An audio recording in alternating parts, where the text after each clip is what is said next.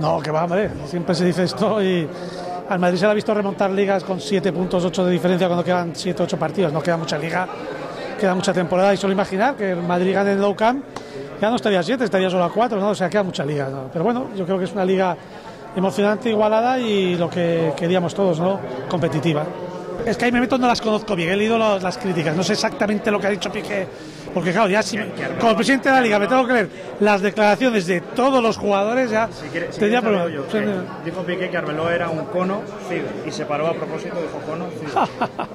Bueno, pues vamos a ver, no, no es tan bien que se diga eso de un compañero, pero también tenemos que tomarlas con, con cierto humor, ¿no? Yo creo que Piqué últimamente ha demostrado un cierto humor anti, no muy madridista, entonces yo que soy madridista, pues bueno, pues no, pues la tomo con cierto humor, ¿no? Hombre, a un compañero no está bien que le diga eso, pero también vamos a entender eh, cómo es Piqué, yo creo que ya Piqué lo hemos visto cómo es, ¿no? Y por eso no tenemos que, que martirizarlo ni fusilarlo ni nada.